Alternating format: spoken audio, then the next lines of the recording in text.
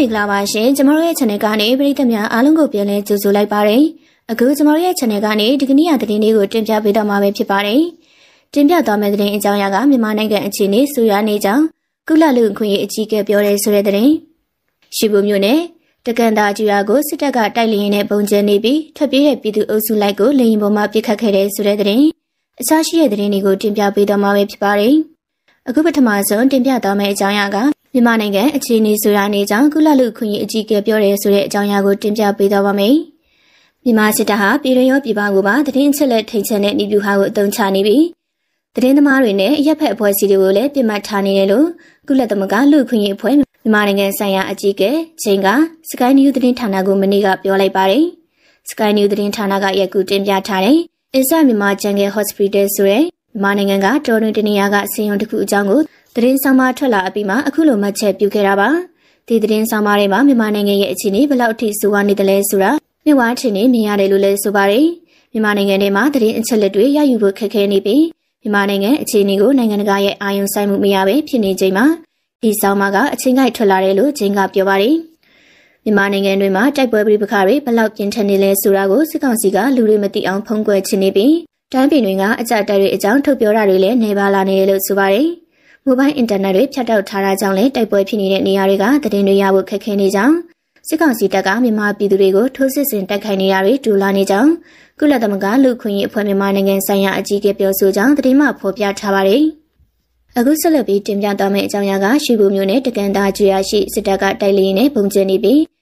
ထွက်ပြေးနေတဲ့ပြည်သူအုပ်စုလိုက်ကိုလေရင်ပေါ်မှာပြစ်ခတ်ခဲ့တဲ့ဆိုတဲ့အကြောင်းအရာကိုတင်ပြပေးတော့ပါမယ်။ စကိုင်းတိုင်းရှိဖို့မြို့နယ်တကန်သားကြီးရွာကိုအကျဉ်းဖက်စကောင်စီတပ်ကတိုက်လေနဲ့ပုံကျင်းမိရှို့နေကြောင်းဒေသနေပြည်သူများထံကနေသိရပါဗျ။ဇူလိုင်လ18ရက်နေ့နဲ့17နာရီခန့်ကအကျဉ်းဖက်စစ်တပ်ကတိုက်လေနဲ့တကန်သားကြီးရွာအပါအဝင်အနီးနားရှိကြီးရွာများကိုပုံကျဲတိုက်ခိုက်ခဲ့ရမှာကြီးရွာနေပြည်သူလူထုအများများထွက်ပြေးနေရပြီးလူအုပ်စုမြင်မြင်သမျှကိုလည်းလိုက်လံပစ်ခတ်တပ်ဖြတ်နေခြင်းဖြစ်ကြောင်းသိရပါတယ်။ရွာတွေကိုလေရင်ပေါ်ကနေမီးလောင်ပုံတွေကျဲချနေတာအင်ကြီးအိမ်ကောင်းတွေအတော်များများမီးလောင်နေတာတွေ့ရတယ်။ လူအုပ်စုမြင်တာနဲ့လင်းရင်နဲ့လိုက်ပြေးနေတာငိုတဲ့သူကငိုပြေးတဲ့သူကပြေးနေပြည်သူတွေမှာအတော့ကိုဒုက္ခရောက်နေကြတယ်။တကြီးရွယ်ဦးရောကျွဲတွေနွားတွေရောဆိုတော့လူကလည်းအုပ်စုအုပ်စုနဲ့ဖြစ်နေတာအဲ့ဒါမင်းရင်လိုက်ပစ်ကြလို့ဒေသနေပြည်သူတို့ကရန်ကုန်ခေတ်သစ်သတင်းဌာနထံသို့ပြောကြပါတယ်။အကျဉ်းပဲစစ်တပ်မှာတိုက်လေရင်နဲ့ပုံကျဲပစ်ခတ်တက်ခိုင်းနေသည်မှာညနေပိုင်းအထိဖြစ်ပြီးတေဆုံထိခိုက်ပျက်စီးမှုအခြေအနေကိုမတရားသေးကြောင်းကြီးရနေပြည်သူများမှာတောတောင်တွေမှာပုံခုနေရကြောင်းသိရှိရပါတယ်။ အခုတင်ပြသွားမယ့်အကြောင်းအရာကကြာအင်းစိတ်ကြီးမြို့နယ်ရှိစစ်တပ်ရဲ့ခေတ်ခွာရှိတဲ့စကန်ရဲစကန်ထွေအုပ်ယုံမင်းစင်ယုံနဲ့စစ်ကူလာတဲ့စစ်ကြောင်းတို့ကိုတိုက်ခိုက်မှုမှာစစ်သား9ဦးသေဆုံးတယ်ဆိုတဲ့အကြောင်းအရာကိုတင်ပြပေးသွားပါမယ်။ကရင်ပြည်နယ်ကြာအင်းစိတ်ကြီးမြို့နယ်ရှိအကျန်းဖက်စစ်တပ်ရဲ့ခေတ်ခွာရှိတဲ့စကန်ရဲစကန်ထွေအုပ်ယုံမင်းစင်ယုံနဲ့စစ်ကူလာတဲ့စစ်ကြောင်းတို့ကိုတိုက်ခိုက်ရမှာစစ်သား9ဦးသေဆုံးခဲ့ကြောင်းအထူးစစ်စင်ရေးတပ်ဖွဲ့ SOF မှတာဝန်ရှိသူတို့ကရန်ကုန်ခေတ်သစ်မီဒီယာသို့ပြောဆိုပါတယ်။ ဇူလိုင်လ17ရက်နေ့မှစတင်၍16ရက်နေ့ထိကြာအင်းစစ်ကြီးမြို့နယ်ရဲစကန်ထွေအုပ်ရုံမင်းစင်ရုံတို့အပြင်အကျန်းဖက်စစ်တပ်ရဲ့ခမရငန်းငါရှိဒုတက်ရင်မှုဦးစီးစစ်ကြောင်းနေအခြေပြုနေထိုင်တဲ့ခခွာစစ်စကန်နဲ့ရင်စကန်ကိုစစ်ကူလာတဲ့အကျန်းဖက်စစ်တပ်ရဲ့ခမရငန်းငါရှိတက်ရင်မှုဦးစီးတဲ့စစ်ကြောင်းတင်ခမရလေးတုံနေတက်ရင်စစ်ကြောင်းတွေကိုဒေါ်လန်ရေးတပ်ဖွဲ့များကဒရုန်းများလက်နက်ကြီးလက်နက်ငယ်မျိုးစုံနဲ့တိုက်ခိုက်ခဲ့ပြီးစစ်သား9ဦးသေဆုံးခဲ့ကြောင်းသိရပါတယ်။ တိုက်ခိုက်မှုကြောင့်ခောက်ခွာစစ်စကန်အပါဝင်ကြာအင်းစစ်ကြီးမျိုးရှိမြို့နယ်ရဲစကန်ထွေအုပ်ရုံမြေစင်းရုံတို့ကြီးမွပျက်စီးခဲ့ပြီးအကျန်းဖက်စစ်တပ်ဘက်မှလည်းတက်လီနဲ့ပုံကျဲခြင်းလက်နက်ကြီး120မမ80မမ60မမများနဲ့နေရအနှံ့ရန်တမ်းပစ်ခတ်ခဲ့ကြောင်းသိရပါတယ်။သူတို့အဓိကစစ်သား5ဦးသေဆုံးတာတော့ခောက်ခွာစကန်နဲ့မနီမွေးပေါ့။အဲမှာမက်ကတော်ရွာရှိတဲ့မနေ့ပိုင်းတစ်ချိန်နှစ်နာရီလောက်မှအပြင်းထန်ဖြစ်တဲ့ဖြစ်ပြီးတော့မွန်လဲပိုင်းမှာသူတို့ရဟရင်နဲ့လာပြီးတော့စစ်တနပ်ပစ်တဲ့ရွာတွေကိုထိခိုက်မှုရှိမရှိတော့မသိရသေးဘူး။ နောက်ညနေပိုင်းတစ်ချိန်မှာအပြင်းထန်ထပ်ပြီးတော့ထိတွေ့မှုတွေဖြစ်တယ်။အဲမှာစစ်သား9ဦးသေးတယ်။သေးတဲ့စစ်သား9ဦးလောင်းကိုလည်းမက်ကတော်ရွာနာမှာမြုပ်ခဲ့တယ်။အဲ့လိုမျိုးပြီးတော့ရွာသားတူကိုဖမ်းပြီးခေါ်သွားတယ်။အခုချိန်ထိပြန်မလို့သေးဘူး။အဲ့ဒီစစ်ကြောင်းကကြီးရွာသားတွေကိုလမ်းပြခိုင်းပြီးတော့ကျွန်တော်တို့မထင်မှတ်တဲ့လမ်းကနေပြန်ဆုတ်သွားတယ်။အဲဒါကြောင့်အပြီးတိုင်ချေမုန်းနိုင်ခြင်းမရှိဘူးလို့အထူးစစ်စေးတပ်ဖွဲ့ SOF မှတာဝန်ရှိသူတူကပြောဆိုပါတယ်။အဆိုပါတက်ခိုင်မှုကိုကရင်အမျိုးသားလူမျိုးရေးတပ်မတော် KNL အထူးစစ်စင်ရေးတပ်ဖွဲ့ SOF Cloud Wing ဒရုန်းတပ်ဖွဲ့နဲ့ Freedom Wing ဒရုန်းတပ်ဖွဲ့တို့ပူးပေါင်းလှုပ်ဆောင်ခဲ့ခြင်းဖြစ်ကြောင်းသိရှိရပါတယ်။အခုတင်ပြသွားမယ့်အကြောင်းအရာကမတရားဖျက်သိမ်းခံခဲ့ရတဲ့ပြည်မျိုးမှာ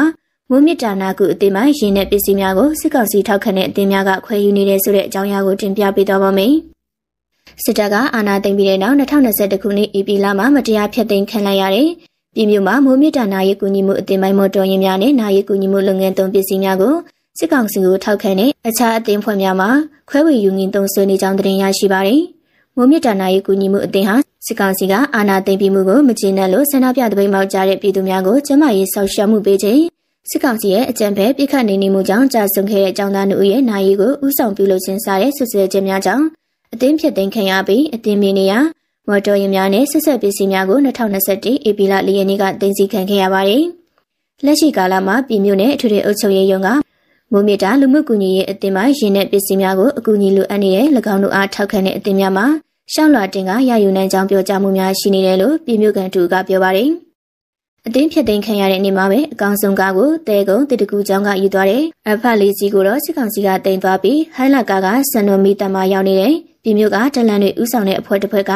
စူပါကတ်စတန်ယူသွားတယ်။ကျန်တဲ့ရင်တွေကိုကြတော့ဆေးရုံနဲ့ထိုးထားပြီးတမိုးကြီးပစ္စည်းတွေဖြုတ်ခူပြီးရောင်းစားကြတယ်။အခုကစစ်ကောင်စီထောက်ခံတဲ့အဖွဲ့တွေကို လူချင်တာစီရင်ပေးမယ်လို့ထွေအုပ်ကနေပြောနေတယ်လို့အဲ့မျိုးကန်ကပြောကြားခဲ့ပါတယ်။ဒါအပြင်စစ်ကောင်စီကမနုဿမေတ္တာရှင်ကူအတင်းအား၎င်းတို့ကျွန်တော်တို့ခံပြုအဖွဲ့အစည်းအဖြစ်ရတည်နိုင်ရန်အတွက်မိုးမြစ်တာအသင်းမှပိုင်ဆိုင်တဲ့ကျမရဲ့ထောက်ကူပစ္စည်းများမန်အခေါင်စတီဘန်အေအေကောင်စသည်တို့ကိုပေးအပ်လိုက်ကြောင်းလည်းသိရပါတယ်။မိုးမြစ်တာလူမှုကူညီရေးအသင်းရဲ့2021ခုနှစ်မေလထုတ်ပြန်ချက်အရအသင်းဖြတ်သိမ်းခံရချိန်မှာ လူနာတင်ရင်6စီနှိပ်ပန်ရင်5စီအသေးမိုက်အလူငွေများရုပ်သုံးကွန်ပျူတာနဲ့ဆက်ဆက်ပစ္စည်းများ CCTV နဲ့ဆက်ဆက်ပစ္စည်းများမတရားတင်စီခံခဲ့ရပြီးအတင်းယုံအားစစ်ကောင်စီမှဝင်ရောက်စီးနေစဉ်ကလည်းအတင်သားများပိုင်းဖုံးဆဲလုံးကဲဆဲရေးအသုံးဆောင်များနဲ့အခြားတမိုးရှိပစ္စည်းများကိုဖျက်ဆီးခဲ့ကြောင်းသိရပါတယ်။အခုနောက်ဆုံးတင်ပြသွားမယ့်သတင်းအကြောင်းအရာကမန္တလေးမှာနိုင်ပိုင်းအတွင်းမှာပောက်ကွဲမှုနှစ်ကြိမ်ဖြစ်ပွားမပောက်ကွဲသေးတဲ့လက်လုံမိုင်းများတွေ့ရှိရဲဆိုတဲ့အကြောင်းအရာကိုတင်ပြပေးသွားပါမယ်။ မန္တလေးမြို့မှာဇူလိုင်လ15ရက်ညပိုင်းကနိုင်ပိုင်းအတွင်းမှာပောက်ကွဲမှုနှစ်ကြိမ်ဖြစ်ပွားခဲ့ပြီးမပောက်ကွဲသေးတဲ့မိုင်းများလည်းတွေ့ရှိခဲ့ကြောင်းဒေသခံများထံကနေသိရပါတယ်။ညရှိနိုင်လောက်မှတစ်ကြိမ်နောက်15မိနစ်လောက်ခြားပြီးတော့တစ်ကြိမ်ပောက်ကွဲမှုနှစ်ကြိမ်ဖြစ်ခဲ့တယ်။ပထမတစ်ချိန်ကကျွန်တော်တို့ရက်ွက်ကအုတ်ကြီးယုံကိုဘုံနဲ့ပစ်သွားတာပါအဲယုံကခဏခဏဘုံခွဲခံရလို့တလန်လုံးကိုပိတ်ဆို့ပြီးအစ်စ်ပြန်ဆောင်နေတဲ့ယုံမှာဘာအထိခိုက်မှတော့မဖြစ်ခဲ့ဘူးလို့မဟာအောင်မြေမျိုးနဲ့တန်လျက်မော်အနောက်ရက်ွက်ယုံပောက်ကွဲမှုနဲ့ပတ်သက်လို့ဒေသခံတူကပြောပါရယ် ဇူလိုင်လ15ရက်နေ့ညရှိနိုင်ခန့်မှာမဟာအောင်မြေမြို့နယ်တန်လျက်မော်အနောက်ရက်ွက်40တလန်းနဲ့42လန်းကြားလန်90နဲ့90တလန်းကြားရှိရက်ွက်ယုံကိုလက်လုံပုံနဲ့ပြစ်ခတ်ခံရပြီးတဲ့နောက်15မိနစ်ခန့်အကြာမှာ PG တကူမျိုးနဲ့ဆမြတ်သားရက်ွယ်85လမ်းနဲ့115လမ်းတောင်ရှိမြောက်ရီပန်းကိုလည်းလက်လုံပုံနဲ့ပြခတ်တက်ခိုက်သွားခြင်းဖြစ်ကြောင်းမန္တလေးတိုင်းရဲတပ်ဖွဲ့နဲ့နေဆက်တဲ့အတိုင်းဝိုင်းထမှသိရပါတယ်။ပောက်ကွဲမှုတစ်ခုစလုံးမှာလူနဲ့အဆောက်အုံထိခိုက်ပျက်စီးမှုရှိခဲ့ကြောင်းနေဆက်သူတူကပြောပါတယ်။